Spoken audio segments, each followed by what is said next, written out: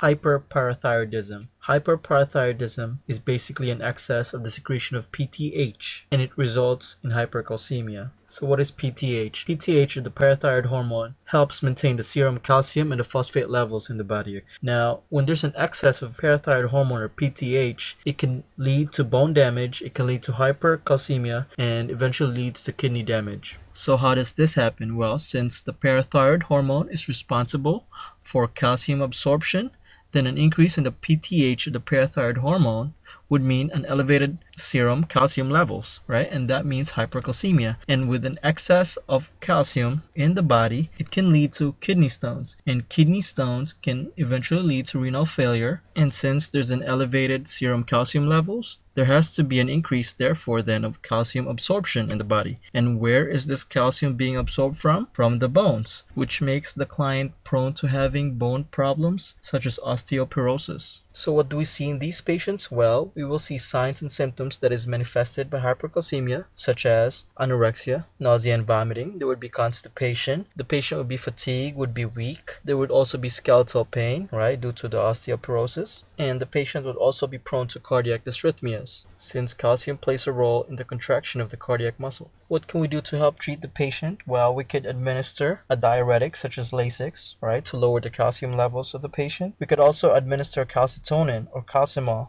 which is used to decrease the release of calcium in the skeletal system, and it can also be used to increase the clearance of calcium in the renal system. In the cases of tumors, such as an adenoma, the patient can undergo a surgical procedure, which is called a parathyroidectomy, and basically it's the removal of one or more of the parathyroid gland. Prior to the operation, we need to monitor electrolytes. We need to ensure that the calcium is decreased to normal, right? And post-operatively, we have to monitor respiratory distress in the patient, and we need to make sure that there's a tracheostomy set at the bedside.